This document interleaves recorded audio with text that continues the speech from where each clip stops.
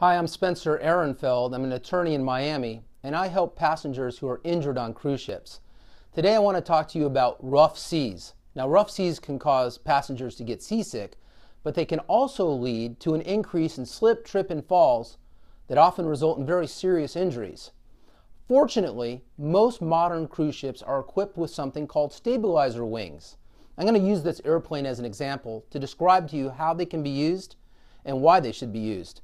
Much like the wing on an airplane, when they're extended beyond the hull of the ship, they can help stabilize the ship from rocking back and forth in rough weather conditions, particularly when the waves are hitting the side of the ship.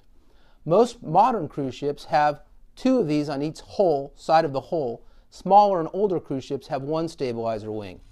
They can be extended by sensors and a complex computer algorithm that can detect rough seas, and the appropriate time to extend the wings, or the captain and bridge can manually override that and extend them at their own will. Now, when we're investigating these claims, we look at what were the weather conditions at the time of the fall. What was the barometric, barometric pressure? What was the temperature of the waves? What were the wind conditions? And should these wings have been extended before the fall and hopefully have prevented the fall? Now it's important to note that if the waves are hitting the bow of the ship, that will affect the pitch or the front up and down nosing of a cruise ship. That will have nothing to do with extending the stabilizer wings.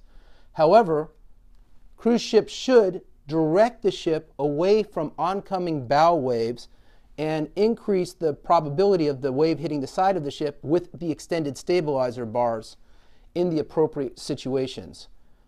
Now, we wish you and your family a healthy and happy and safe trip, but it's important to know that these stabilizer bars can reduce side to side rocking and help prevent slip and fall accidents on a cruise ship. Thank you.